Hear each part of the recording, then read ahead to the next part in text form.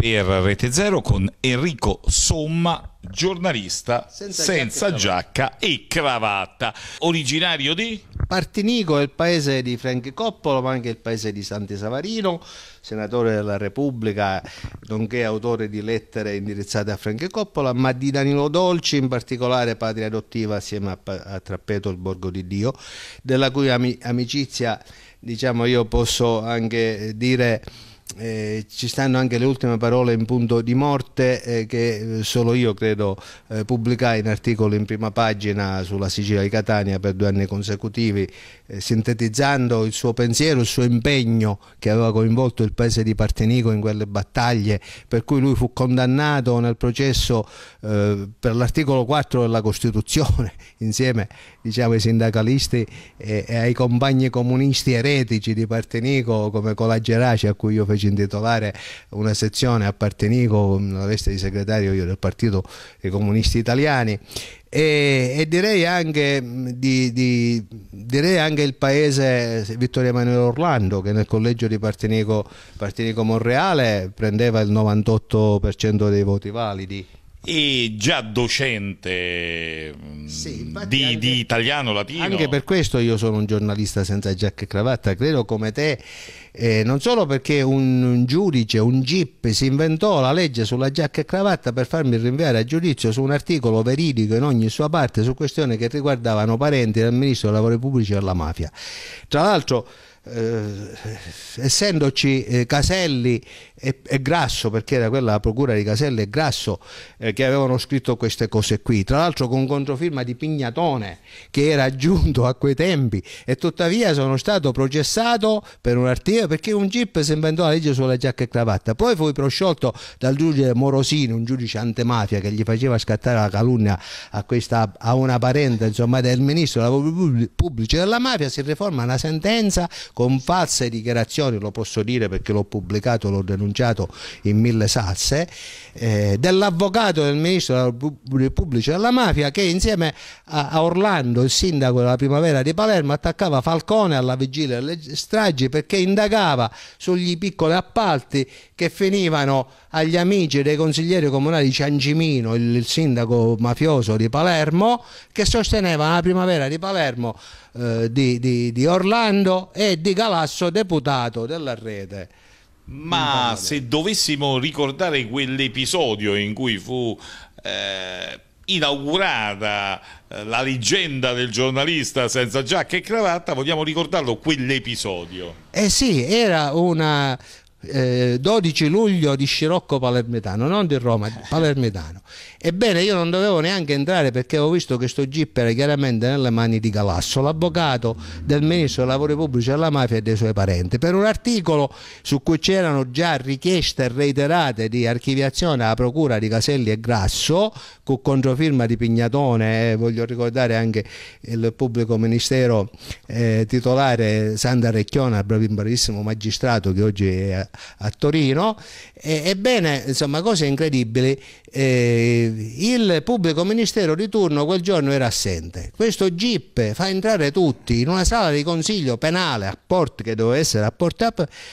ebbene, centinaia di persone lì, tra avvocati, imputati, qualcuno in manetta, eccetera, eccetera. E io, so che non dovevo neanche entrare perché l'avevo visto che questo GIP ce l'aveva con me. E però, insomma, entrai pure io e mi mise all'ultimo banco dietro tutti gli avvocati che mi copivano. Ebbene, eh, questo giudice a un certo punto si mette a cercare il professore Galasso, ma come non c'è? E l'altro avvocato, oh, si chiama Oddo, ah, non c'è? E la signora Bertolini, la cognata del ministro della Repubblica della, della mafia, figlia di uno che eh, Attilo Bozzoni definì ex autista di Al Capone, però poi fu querelato, poi alla fine insomma tutto fu archiviato, credo si misero d'accordo insomma come si, dice, si fa in, in, certe situazioni, con una bellissima intervista a tre pagine in cui eh, Repubblica, edizione di Palermo, fece dire tutto quello che voleva la signora, la signora dell'alcol. Ebbene,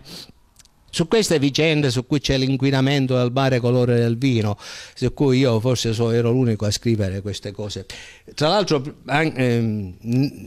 scrivevo prima sul giornale Sicilia, non me la facevano scrivere, sull'ora neanche perché non se ne poteva parlare e c'era anche in qualche modo il PC in queste, perché allo Unipol eh, l'assicurazione dell'Unipol aveva assicurato eh, c'erano assicurate all'Unipol queste distillerie di tutto il mondo, anche in Russia a quanto pare, in Spagna, eccetera, eccetera, insomma, dei parenti dell'ex ministro dei lavori pubblici della mafia e Napoletano che organizzò come responsabile de, de, della politica meridionale del PC un incontro con gli operai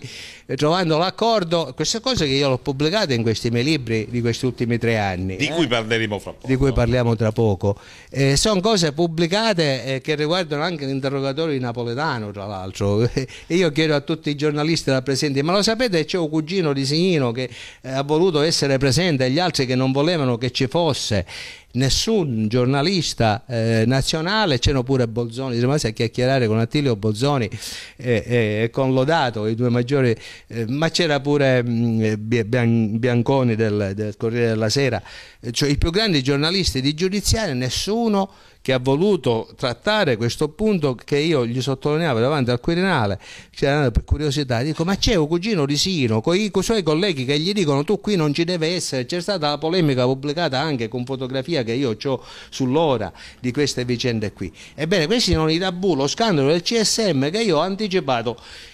Prima in questo, potrebbe il CSM illuminare una sospetta trattativa pubblicamente denunciata? Uscì assieme ai tabù delle mafie due giorni dopo e oggi lo sviluppo nell'internazionale mafiosa. Enrico, ma torniamo un attimo dal mare color del vino a quell'aula di tribunale in cui a un certo punto il GIP chiede ma c'è per caso il giornalista Enrico Somma? Sì, no, ma il bello è che dopo aver cercato la titina che non c'era nell'avvocato, ne, ne, nella cognata di Sino, nell'altro avvocato, appena parla il mio avvocato e dov'è il giornalista? Ma forse è qui, il 12 luglio di Scirocco Palermitano.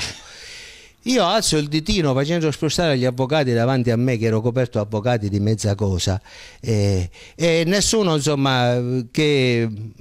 doveva starci perché un, doveva essere eh, approfittando dell'assenza del PM. Cioè sono cose quindi si era, creata una scena paradossale alla Pirandello, alla Martoglio, tutti lì dentro, sì, senza riservatezza. Il senza... codice penale, il codice di procedura penale calpestato sotto i piedi da un giudice delle indagini preliminari che chiaramente dimostrava il suo interesse, la sua dipendenza, che era stata, tra l'altro, guarda caso, nominata docente nella scuola diretta dall'avvocato dall'avvocato del ministro dei lavori pubblici della mafia che dirigeva la scuola di formazione per, a, che seleziona a numero chiuso i candidati a magistratura. Dov'è il giornalista? Ed ecco che appare Enrico Somma. Sono qui. Sono qui, ma è incredibile. Ebbene, questo fa come si permette? Avevo solo alzato la mano, ho detto cosa ho fatto? Si alzi e mi alzo, dico, ma forse per il perché non mi sono alzato subito. Senza giacca e senza cravatta ma c'è una legge, il mio avvocato non me l'ha detto. Avvocato, non gliel'ha detto che c'è. L'avvocato, vedete come risponde Martoglio e Pirandello, non mi occupo dell'abbigliamento dei miei assistiti. Io poi tra l'altro gli chiesi, ma c'è la legge? Tu non me l'hai detto che c'è la legge? Ma quale legge? La legge dice abbigliamento consono. Ora il 12 luglio che avevo una camicia nuova, nuova di zecca, eh, non di bucato, nuova, nuova, eh, eh, pantaloni nuovi, tutto nuovo, tutto nuovo, persino, persino le calze e delle mutandine, insomma, tutte queste cose qua e dovevo andare in giacca e cravatta. e nasce lì il mito del giornalista, senza giacca e cravatta che tu a questo punto usi proprio nei tuoi libri come esatto, tua sempre quello. Sempre quello sei tu. Senti, essenzialmente, sostanzialmente, facciamo capire qualcosa ai nostri spettatori eh, per comprendere che Enrico Somma a un certo punto comincia a scrivere dei libri in cui racconta quelle verità che... Ma io non ho fatto altro che mettere in qualche modo diciamo, applicare eh, semplicemente la lezione di Danilo Dolci e di Peppino Impastato, in maniera molto più moderata tra l'altro, perché Danilo Dolci denunciava, denunciava chi? I mafiosi che salivano sul palco dei, dei, dei politici, per lo più dalla democrazia cristiana, e fu processato, eh, famosi processi mafia e politica degli anni 60 e 70, e poi il processo all'articolo 4 della Costituzione perché organizzò uno show per la, rovescia. Lui mi disse una volta, quando io presentai uno dei suoi libri, in cui tra l'altro lui parlava anche di me, ebbene eh, gli disse ma tu non fai altro che raccontare eh, come il bambino eh, che vede il renudo, quello che ha la vista di tutti e che tutti invece non osano parlare. Sì, mi disse, ma io, io niente facevo di male, eh, dicevo semplicemente le cose che mi raccontavano tutte le persone lì e mi hanno processato e condannato, perché una cosa che molti dicono è che Danilo Dolce sarebbe stato condannato almeno nel processo all'articolo 4 della Costituzione. No, lui fu assolto per merito di Pietro Calamandrei, tra l'altro, eh, dalle accuse più gravi di sovversione dell'ordine, ma fu condannato anche se a pene diciamo, di multe eccetera eccetera per occupazione del suo cose ridicole. Per uno sciopero passato nella storia dell'Italia così come fu condannato per diffamazione eh, del de senatore Messeri e, de, e, altri insomma non facciamo altri nomi. Ma andiamo ad analizzare i libri. Libro per libro con una breve eh, sostanza, poi invitando i nostri qui... spettatori a leggerli questi libri. Però facciamo capire, Enrico Somma, giornalista senza cravatta, potrebbe il CSM illuminare una sospetta trattativa pubblicamente denunciata nel 2000? pubblicamente denunciata nel 2000 non da me ma in convegni tanti convegni l'ultimo dei quali diciamo con la partita di tutti i partiti politici di Partenico rappresentati in Parlamento tranne quello di Cuffaro l'onorevole Cuffaro, condannato per mafia. Ebbene, eh, io non ho fatto altro che, che, che scrivere queste cose qui e soprattutto una cosa, un tabù che poi c'è l'altro i tabù della mafia, ma il primo tabù è che un cugino di Sino saliva ai vertici della procura di Palermo ed era vietato ed è vietato anche oggi dirlo dopo che se n'è andato in pensione senza peraltro essere riuscito a diventare procuratore della Repubblica mentre invece si decurtava il, perché lui diventasse aggiunto e poi procuratore facente funzione ma non titolare, il punteggio ad altri due che poi hanno vinto un ricorso al TAR e al Consiglio di Stato perché eh, quella decurtazione del CSM l'aveva fatta eh, per carenza di motivazioni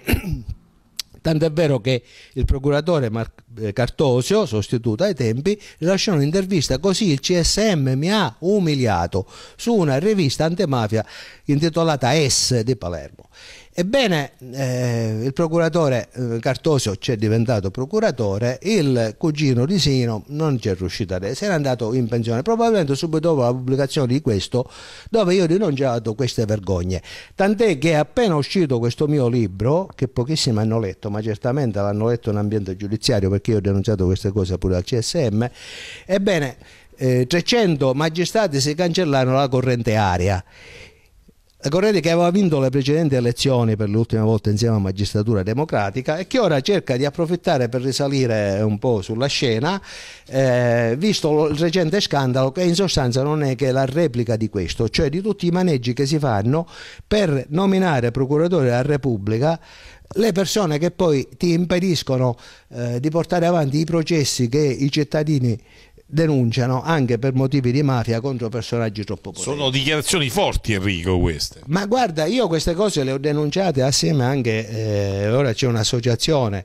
eh, di vittime di mafia che come me denuncia queste fatte, cioè l'insabbiamento di tutti i procedimenti di, di, anche di mafia di cittadini che come me, quando poi denuncio per calunnia dopo essere stato assolto dopo dieci anni di processo in primo grado, io credo che sia un record essere stato assolto per un processo di diffamazione in primo grado dopo dieci anni, dopo essere stato prosciolto con tre richieste di archiviazione, tra l'altro la procura che diceva le stesse cose mie, che mi hanno orato pure con Scarpinato, che poi è stato sottoposto pure a procedimento disciplinare per aver detto delle cose insomma, che io gli ho segnalato a, in via D'Amelio, tra l'altro, nell'ultimo anniversario della strage di Miana Ferio dove tu mi hai intervistato. Sono cose incredibili. Cioè io ho i più importanti di prestigio magistrati d'Italia che mi hanno onorato e per fortuna che abbiamo questi magistrati, Scarpinato, Morosini, Pignatone, li elenco, posso Teresi, Teresi che redarguì il GIP, che si inventò la legge su una precedente cosa per invadere le prerogative del titolare dell'azione penale. Non l'ho detto io, ma un procuratore come Teresi, a cui ho, do, ho, ho donato con dedica eh, il film eh, questo libro sui tabù, eh, e lui mi ha detto, ah mi ricordo benissimo, così come mi ha, me l'ha scritto pure anche eh, il, il, pubblico ministero Recchione che ora è a Torino. Cioè, per fortuna che noi abbiamo almeno il 50% di magistrati onesti e di coraggio come, come Falcone e Borsellino, ma probabilmente ce n'è un altro 40 o 50% che sono nelle mani anche della mafia. Cioè non è possibile che sia successo che io poi ho denunciato queste cose al CSM, ma hanno archiviato tutto. Io denuncio 10 magistrati, tra cui il cugino, mi archiviano tutto, sorvolando su tutto su tutto, neanche hanno preso in considerazione l'incompatibilità ambientale perché ancora era, era a Palermo, essendo rimasto procuratore, anche nel procedimento in cui ero parte offesa per calunnia i tabù delle mafie, se dovessi dirli proprio così in 30 secondi, quali sono i grandi tabù? E appunto no, i tabù delle mafie è eh, non toccare certe questioni, in particolare l'insabbiamento di procedimenti anche di mafia, col modello cosiddetto modello 45. Tu denunci un mafioso e ti dicono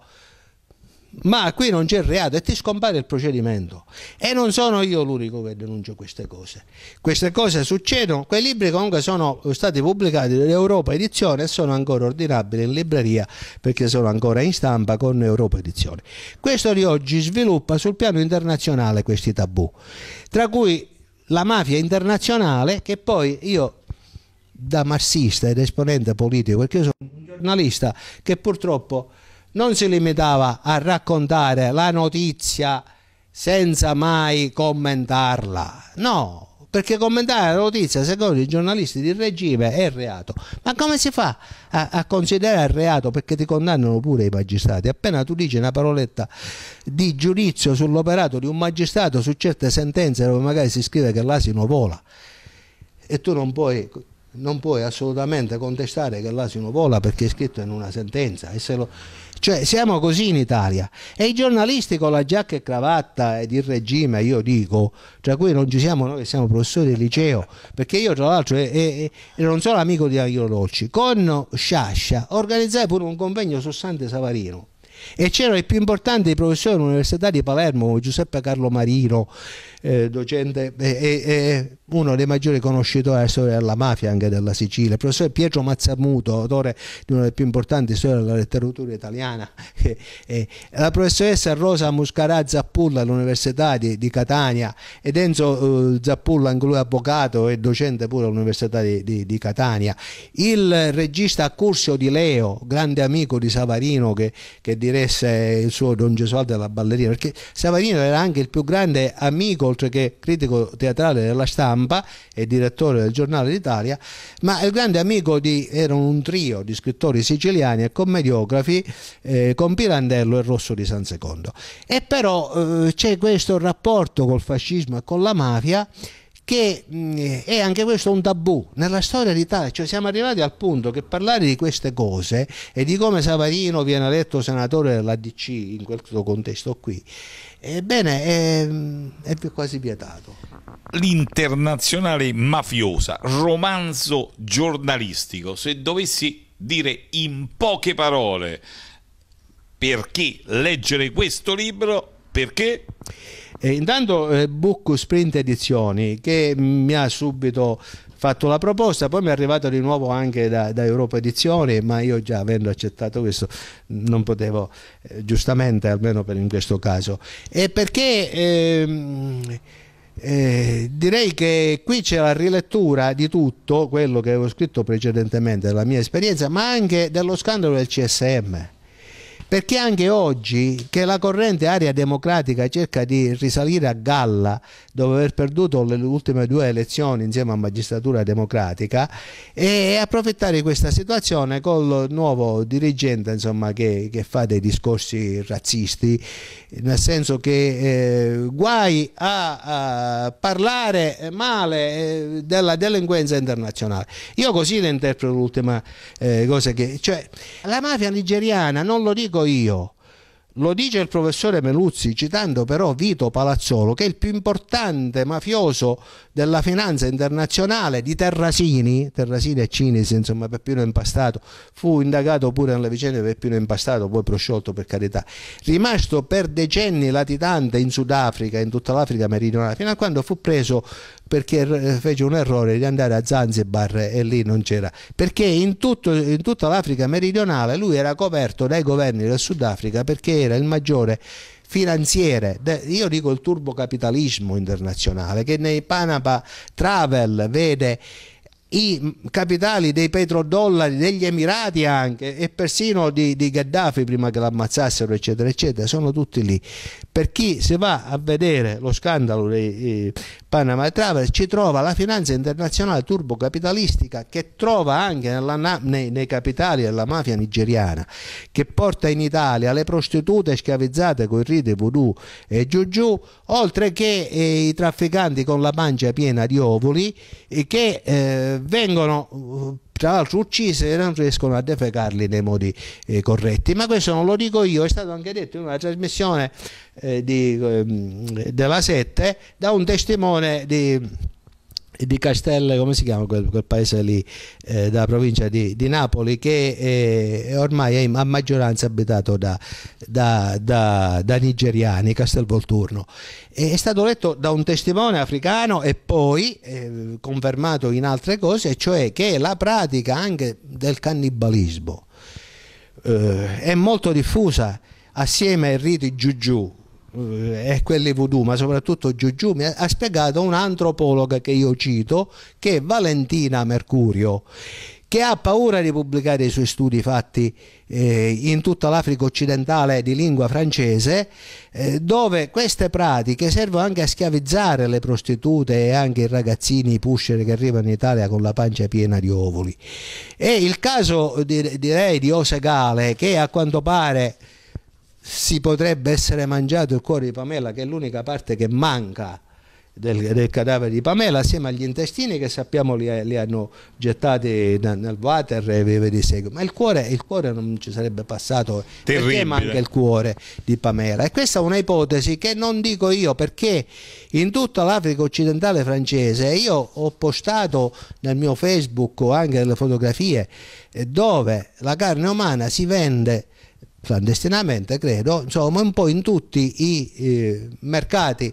eh, eh, direi ambulanti della, della, Nigeria, ma non solo della Nigeria, perché, ma c'è internet che riporta queste foto non, non le, e sono foto eh, pubblicate eh, dove tu vedi i cadaveri umani con la carne. E, in particolare dice l'antropologa Valentina eh, Mercurio che mangiare cuore, cervello e testicoli potenzia, secondo questa cultura eh, dell'Africa, dell'Africa ex francese, dalla Nigeria, insomma, eh, fino, fin quasi eh, all'Algeria no, ma comunque in tutti i paesi eh, a sud dell'Algeria potenzierebbe le virtù eh,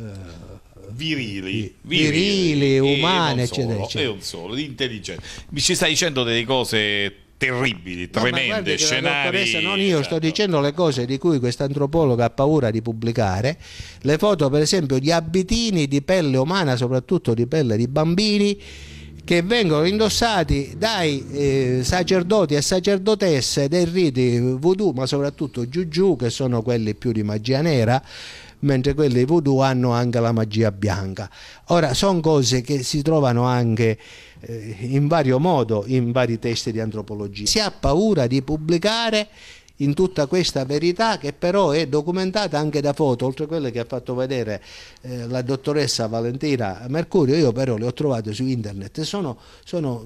chiunque le può vedere. Tutto quello che nessuno vi racconta, ma che esiste, basta oggi andare sul web per andare a uh, scoprire, a intercettare delle pagine oscure che però coloro che dovrebbero tutelare la legalità e difenderla... Io dico essere razzista.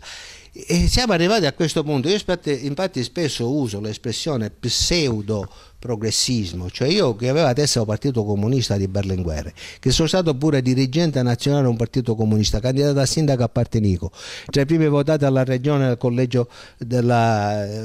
di, di, Palermo, insomma, eh, con 100 voti di differenza dal primo che poi era stato il primo dei non eletti nel PC, eh, segretario della CNA, ma guarda caso la CNA che una volta era il sindacato dei comunisti artigiani, ora è diventato il sindacato più vicino a, a, a Salvini cioè c'è una trasformismo?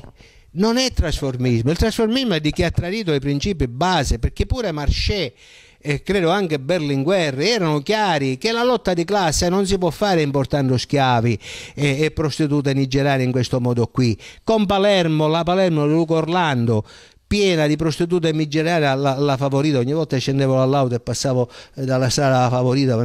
per, per, per prendere l'autostrada pieno di prostitute nigeriane e eh, persino i posteggiatori a Palermo i posteggiatori abusivi ormai sono tutti africani e ti fanno pagare a me mi hanno fatto pagare il pizzo due volte che sono andato a Palazzo di Giustizia davanti a Palazzo di Giustizia sulle strisce blu cioè oltre alla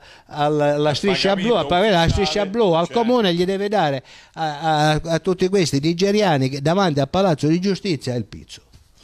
Ascolta, hai qui in... Uh, Con Leoluca Orlando che gli, che gli, officia il sacrificio di Isacco, lui personalmente assieme a Giusto Catania che è eh, esponente di rifondazione comunista. Io queste cose non le sopporto da comunista. Cioè la religione oppio dei popoli è diventata, è diventata e, ah. e, lo, lo, strumento di vincere le elezioni, ma anche a Napoli tu lo vedi con, con il sindaco che io stimavo tantissimo, De Magistris. Attentato alla Costituzione italiana Tribunali ah, per magistrati, che cosa un... vuoi dire? Qui vedo che c'è uno studio in via di definizione sì, che forse porterà un, un, nuovo libro. Questo è un inedito dove non faccio altro che riferire le cose che anche avvocati, un mio avvocato che fu eh, pure candidato al Parlamento del Partito dei Comunisti Italiani, di cui io ero candidato sindaco, segretario della sezione di Partenico, primo votato pure nel mio collegio alle provinciali, eccetera, eccetera. Insomma, e, bene, mi disse, ma questo è un attentato alla Costituzione, cioè essere processati per un articolo veridico in ogni sua parte scritto dalla Procura, con proscioglimento pure, eccetera, eccetera, poi con riforma di sentenza, significa intaccare i principi fondamentali, non dell'articolo 21 della Costituzione, libertà di pensiero, stampa, opinione ma supportata da quello che diceva la procura, non perché me lo inventavo io, ma perché poi c'erano i fatti, tu, tu, tutte queste cose qui, per cui si minacciavano pure, pure i vigili urbani, chissà avessero rivelato i segreti d'ufficio, quando erano cose che avvenivano pubblicamente che venivano tutti sotto la puzza. La puzza da volta a stomaco denunciata dal sindaco dello stesso partito della rete di Galasso. Ebbene, ma tutto questo ora col CSM, dove abbiamo non solo quello che io dico, il cugino di Siino, che che dirigeva la corrente area di magistratura democratica che fino a quando vinse le ultime elezioni e che ora è in pensione no? e che guarda caso l'ha perduto dopo la pubblicazione del mio primo libro sul CSM potrebbe rivelare questa trattativa segreta pubblicamente denunciata da tutti i partiti politici tranne quello di, di, de, de, di chi è stato condannato per mafia che è Cuffaro. Ebbene, queste cose che oggi eh, trovano quello che succede, con questo attacco a Pignatone, Pignatone e, e, e, vedo Scarbi che dice ah mafia, ah, mafia qui è Casamova ma io che vivo a Roma lo so la mafia di Casamonaca ma prima di arrivare a Roma mia figlia che comprava la casa dice ma qui abbiamo un Casamonaca si vuole negare che Casa Monica, Casa Monica sono una mafia solo perché sono di origine nomade. Siamo arrivati a questo punto qui. E si tolgono i figli nostri, alle nostre famiglie povere, ma non li si tocca ai rom che per esempio li usano qui a Roma. Io ho paura di, di entrare, salire alla metropolitana o in qualunque eh, autobus perché eh, ci sono tutti questi ragazzotti, queste donne. Ne hanno prese tre in casa di una mia cugina a Partenico, rubando mentre che c'era il morto in casa di mia cugina. E poi naturalmente tutta incinta e, e, tutte queste donne, e, ma lì non, sei razzista se tu fai notare queste, perché non si, non si adottano i bambini di queste persone, gli, a questi fanno figlio, un, figlio, un figlio l'anno e sono sempre incinta stai dando una eh, descrizione du- durissima, durissima, durissima di tante e tante evidenze. E che poi io, io questo, di questo mi lamento col mio ex PD di cui non ho rinnovato la tessera. A Salvini hanno fatto andare al potere loro, ma non lo dico solo io, lo dice pure Marco Rizzo con, che, che cominciava con me a Partinico a fianco a me quando ero candidato sindaco, anche a Corleone quando ero candidato alla provincia e alla regione. Enrico, per chiudere questa intervista, botte risposta. Ti faccio proprio delle domande velocissime e ti chiedo delle risposte estremamente sintetiche, però dobbiamo mh, mm, capire fino in fondo chi è Enrico Somma. Primo, come nasce questa tua forte passione per la legalità, questo tuo impegno non semplicemente fumoso a parole ma sul campo. Ma niente, io sono uno che viveva a Partenico, è cresciuto a Partenico, eh, come dice il giudice Sabella, in un paese, eh, lui mi diceva di essere di Riesi, dice, e noi passeggiavamo e, e, ci raccontavamo chi sono i capi mafia e così al mio paese noi facevamo e vedevamo a quei tempi eh, diciamo, i, i, più importanti eh, comizi insomma, dove c'erano sempre i mafiosi attorno e poi la, la, la distribuzione di, di, scarpe, una scarpa prima e una dopo le elezioni nelle parrocchie. Questa è l'indignazione che ci portò ad avvicinare Danilo Dolci e quei compagni come Colageraci che con lui organizzarono lo sciopero alla rovescia e, e che lo affiancarono in queste battaglie di In che senso sciopero alla rovescia? Lo sciopero alla rovescia eh, è organizzato a Partinico negli anni 60 per cui furono processati eh, diciamo anche degli amici di, di Napolitano eh, e di, di, di, Pio La Torre come per esempio Speciale eh, e Colageraci eccetera eccetera eh, Napoletano passeggiava con, con, con, Ignazio Speciale a Partenico in quegli anni eh, che c'erano queste vicende qui. Quindi quelle erano le battaglie dei comunisti eretici perché lo stesso PC diceva ma no, non si può fare questo è contro la lotta di classe, per organizzare uno sciopero eh, in cui i lavoratori eh, eh aggiustavano una strada la famosa traziera vecchia, eh, senza soldi per dimostrare che qui il lavoro c'è, non manca il lavoro. Perché non si fanno lavorare la gente disoccupata che con, con, con pico e pala, diceva Cola Geraci, è disposta a fare qualunque cosa? Ebbene, eh, furono tutti processati per sovversione dell'ordine pubblico, i più terribili reati, insomma, da, da, dico da ergage, e, e assolti eh, per merito dai più gravi reati, anche per merito di Piero Calabandrea, Ernesto Rossi venne pure a fare un intervento, eh, e però condannati eh, per pene irrisorie, occupazione del suolo pubblico e cose, cose di questo genere. Senti, e velocemente definizione ti do alcuni personaggi. Giovanni Falcone. Giovanni Falcone eh, insieme a Borsellino sono semplicemente dei siciliani come me che erano cresciuti uno alla cassa, e, tutti e due credo alla cassa, eh, però eh, tra di loro non c'era, c'erano anni di differenza, non, non appartenevano alla stessa generazione. Eh, credo che mm, ehm, cosa fosse un pochino di età più grande Borsellino e, e, c'era una diversa posizione anche politica perché sappiamo che Borsellino era più di destra e Falcone era più di sinistra. Tutti e due non facevano semplicemente come diceva Nilo Dolce, ma qui c'è il re nudo è, per questo io credo che la Sicilia ha la più grande cultura del mondo in tema anche di lotta alla mafia, perché noi sappiamo che cos'è la mafia. È una cosa che basterebbe, come diceva anche mio nonno, che so che ebbe problemi con la mafia, eh, di dirgli semplicemente in faccia, ma tu come ti permetti? So che a mio nonno gli chiesero eh, conto perché aveva affettato un magazzino eh, senza passargli il permesso. Dice, ma tu sei il proprietario. E questo negli anni di Mori e Mori, lo sapete che Mori viene defenestrato non appena eh, il più importante fondatore del partito fascista in Sicilia, Alfredo Cucco, medico, eccetera, eccetera, viene assolto da 11, credo 11 fossero processi di mafia, eh, che gli aveva intentato in sostanza lo stesso Mori. Eh, Mori viene defenestrato, messo in pensione come premio, eccetera, eccetera, e Alfredo Cucco diventa vice segretario nazionale del partito nazionale fascista eh, e fino a, a, alla Repubblica di Salò combatté eh, insieme a chi? Al consuocero, ehm, beh, eh, uno dei personaggi di cui si parla qui, eh, che, che eh, alloggiavano al Canal Grande, eh, dove fu, andarono, gli andarono a trovare un altro mio cugino partigiano liberale, reduce dal fronte jugoslavo, eh, sul Canal Grande. Peppino impastato? No, eh, vabbè, su Peppino impastato posso dire fui compagno di liceo un Peppino, ma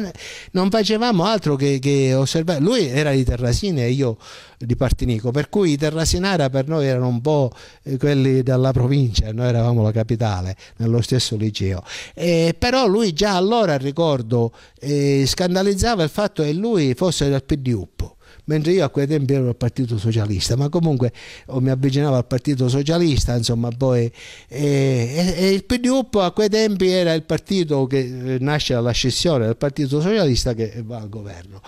E, ma niente, dicevamo semplicemente quello che, che, si vedeva, che era chiaro, che ci scandalizzava noi ragazzi di quell'età che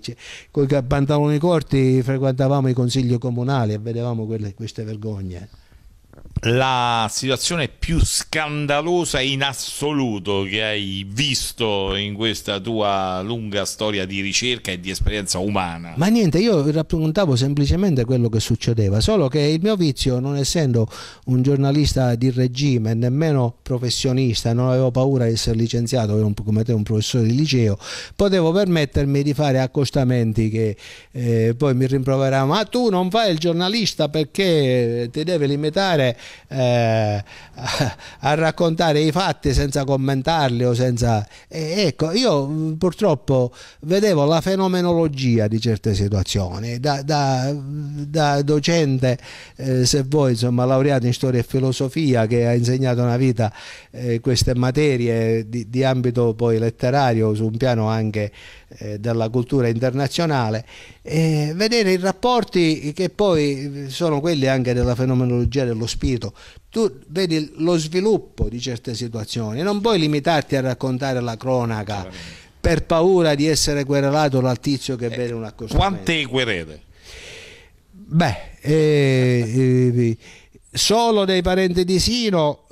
quattro eh, due furono unificate, questa che si concluse poi con la soluzione, le altre tutte per proscioglimento.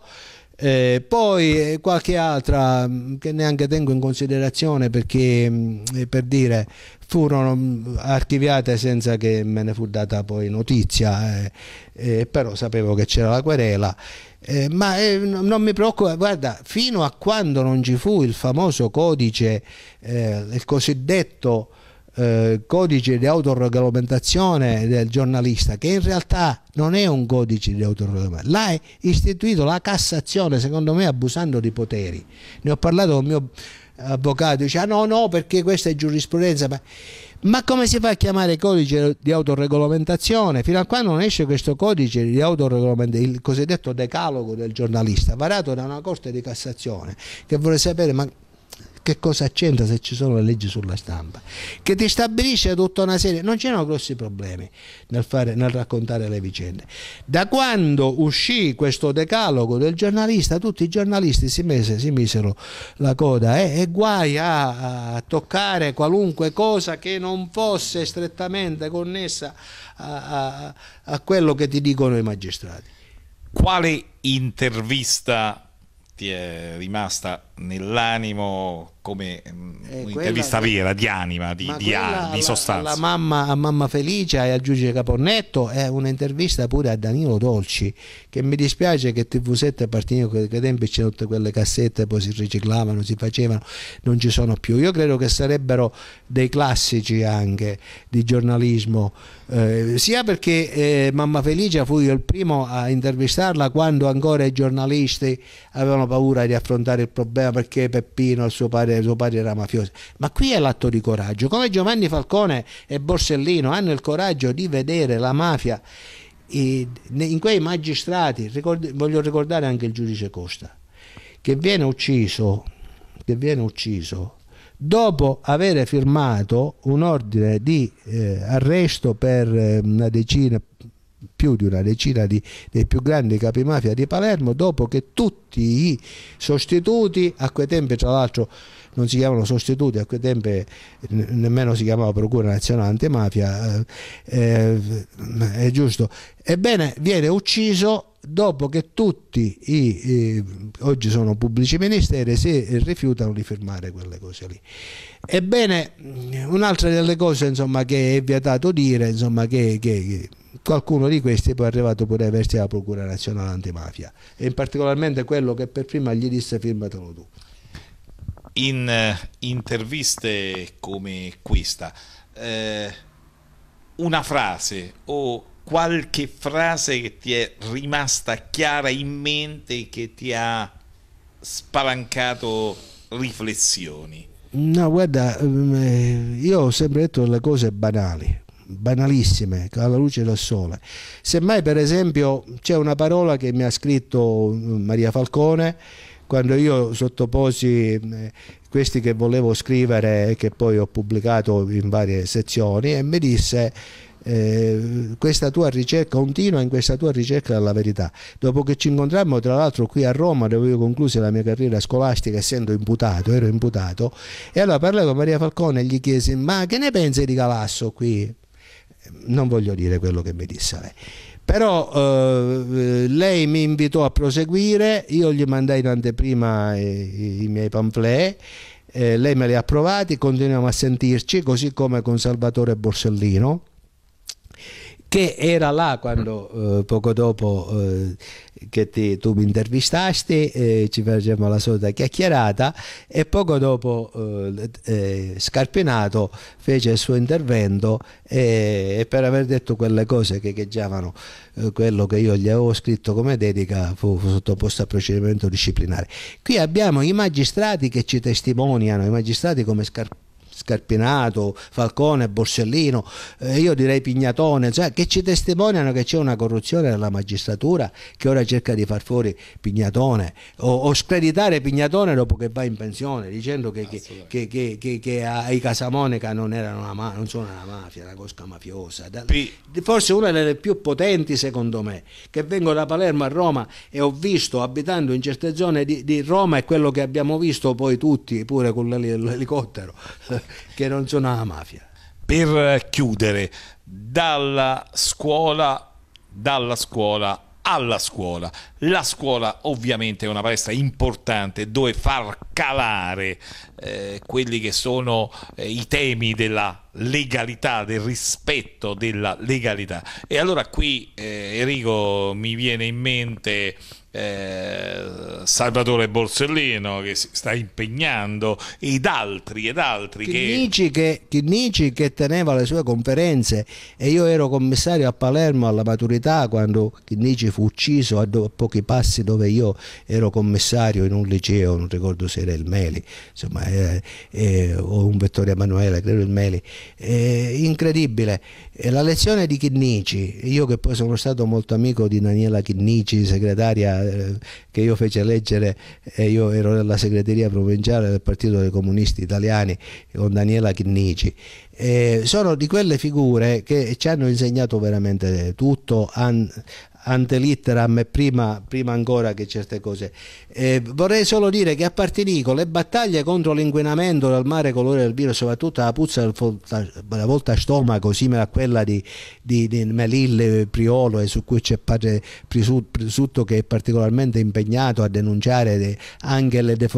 le malattie genetiche che portano con, con tutto quello che, che causano, comprese le malformazioni neonatali. Ebbene, Partenico è un paese pieno di, di, di malattie di un certo genere, non siamo riusciti a ottenere il registro dei tumori. Fino ad oggi Questa è la vera mafia. La vera mafia io dico che è nello Stato, non che tutto lo Stato è mafia, perché per fortuna io posso dire che almeno il 50% dei magistrati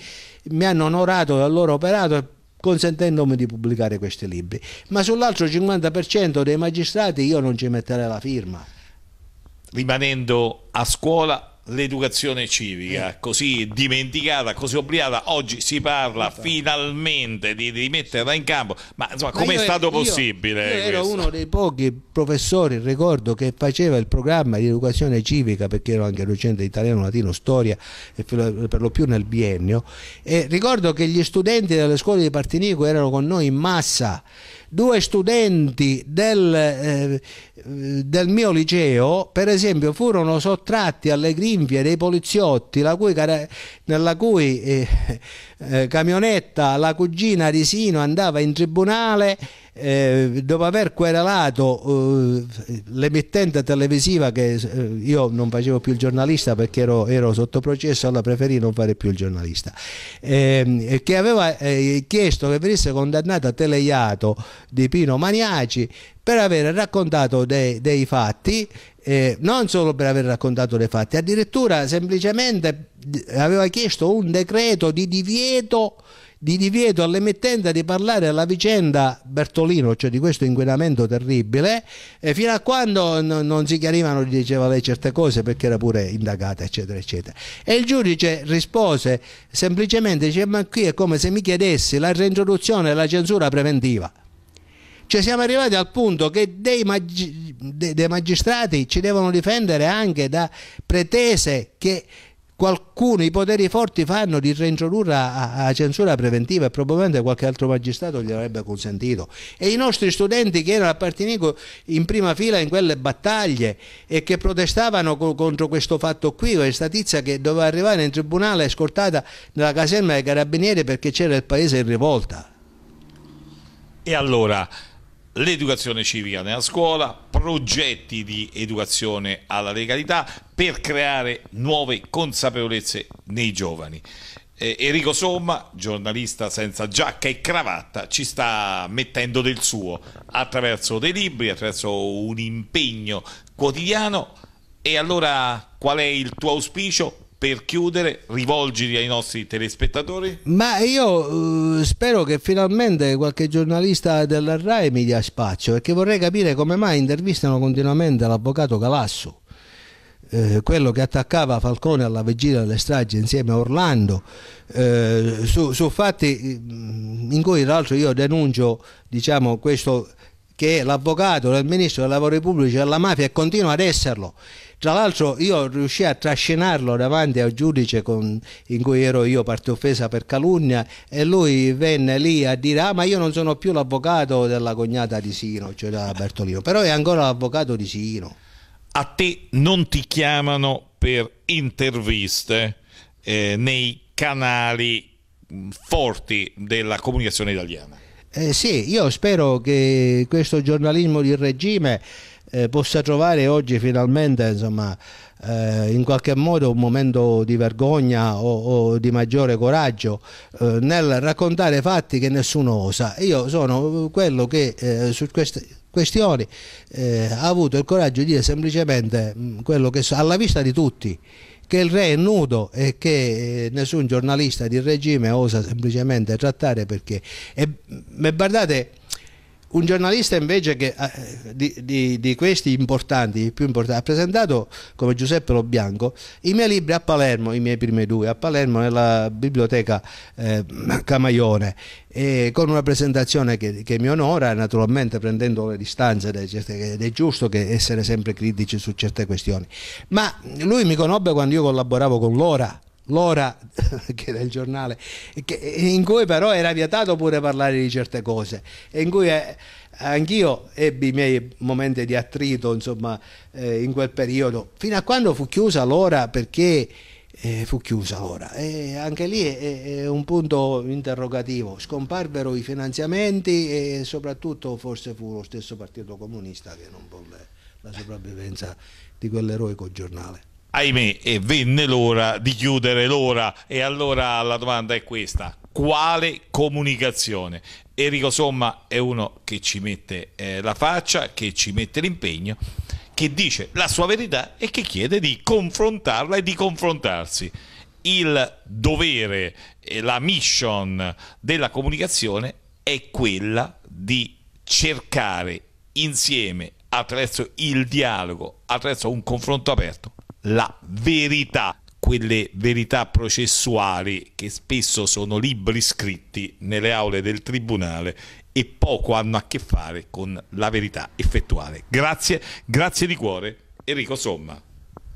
Grazie a te prima di tutto e a questa emittente RD Zero che altre volte mi ha onorato dallo spazio che mi ha concesso.